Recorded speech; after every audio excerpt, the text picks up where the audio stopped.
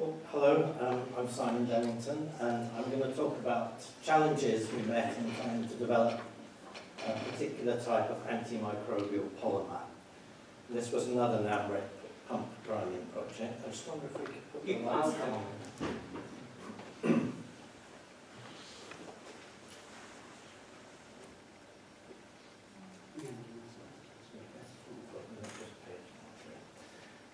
Okay, so um, I'm actually a polymer chemist by background. I'm working in the um, engineering sciences department.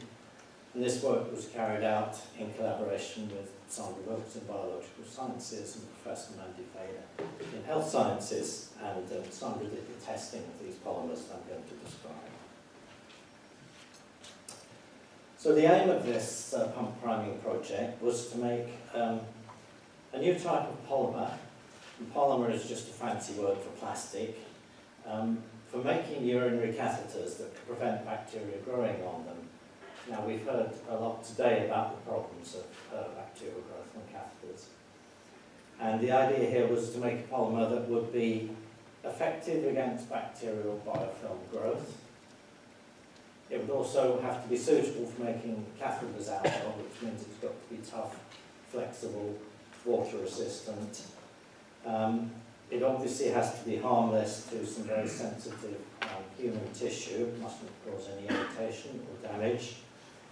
And of course, above all, as always, it has to be low cost um, because catheters are, are used in enormous amounts and uh, cost a great deal every year, especially if they're one-time use, disposable. So that is uh, quite a shopping list. And you would say if it was easy, somebody would have done it already.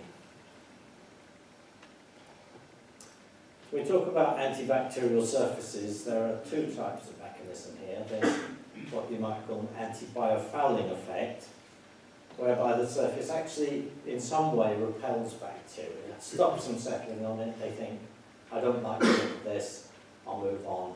This is very difficult to achieve. People looking at various natural um, surfaces from other organisms that can sometimes prevent bacteria attaching. The other way is to have a bactericidal surface that kills something that lands on it. And this is in fact the way we went in, in this, uh, this project. So the easiest way to make a bacterial surface is to add something toxic to the plastic that will kill bacteria.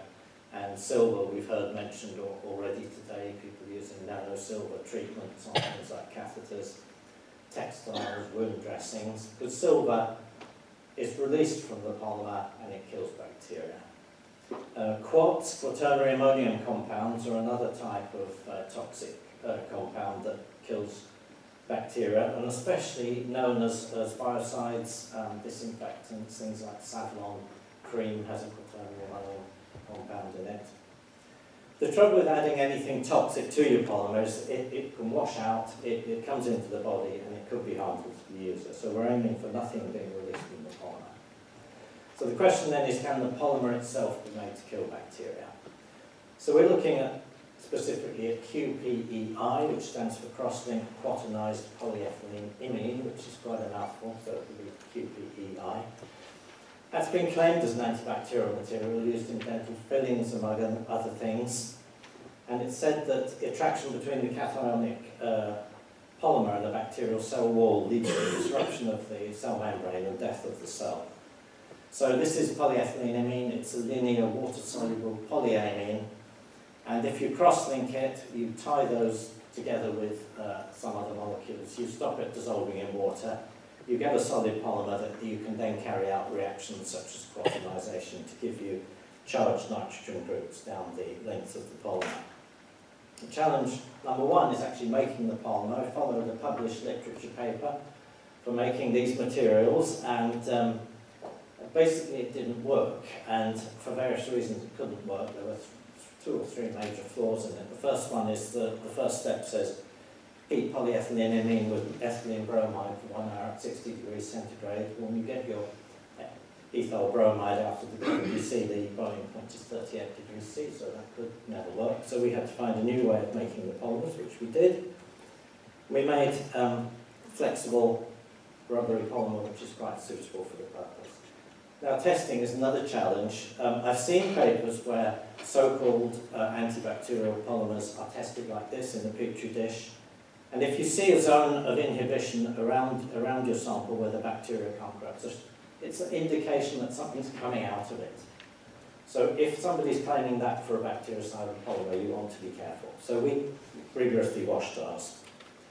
Um, I'm not going to talk about the testing in detail. Sandra did this, and I just cut together two pictures. This top half here is the uh, clean polymer, and down below is the polymer with E. coli after 24 hours. So a lot of questions there. The one that interests me particularly is why does this surface look so almost identical to the other catheter materials that you were shown earlier on? Does that roughness matter? Another complication is bacteria never actually encounter a pure polymer surface. As soon as it comes into the body, it will have proteins, carbohydrates, all sorts of things sitting on it before the bacteria get around to settlizing. This probably happens within seconds. And it can blanket the surface, so the bacteria never get to see those charged uh, nitrogen groups, which might uh, kill them. And can this effect ever actually be effective? If, if the polymer does kill bacteria that settle on it, especially if there's some degree of electrostatic attraction, they're just going to sit there. You're going to get a layer of dead polymer on the surface, and maybe that will be a good basis for uh, further, further bacteria to settle on. So in summary, we did manage to make a polymer that seems to have suitable mechanical properties. Um, we tested it carefully, cleaning it beforehand, and didn't see any particularly good result. Um, it's possible to make further variations of this polymer. Now we have it different to quaternization reagents, for example. So we're going to bring a few changes on this and see if we can improve the result. And hopefully with a bit more um, work, we'll find out whether this, can, this approach can be made to function satisfactorily. Thank you.